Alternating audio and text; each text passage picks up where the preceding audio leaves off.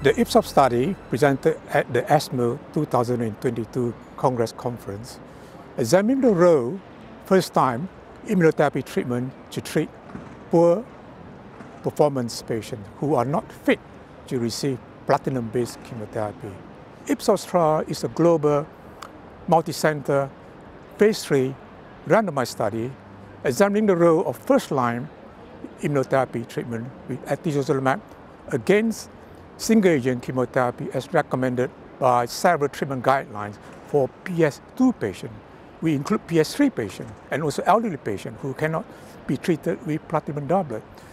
Ipsos trial met its primary endpoint, hazard ratio 0.78, 22% reduction in death. More importantly, 44% of the patients stay alive at one year uh, for the atezo patient, and more importantly, 24% uh, stays alive uh, at two years. So we are talking about one in four patients of these very poor patients who are not fit for platinum treatment and are still alive at two years. We did not see any toxicity of concern of these poor patients. So it's quite important to remember, you know, we, we don't do harm to the patients. So, so reassuringly, we're not seeing any added toxicity compared to historical control or even compared to what had been published for PS0 patient as published in the pivotal trials.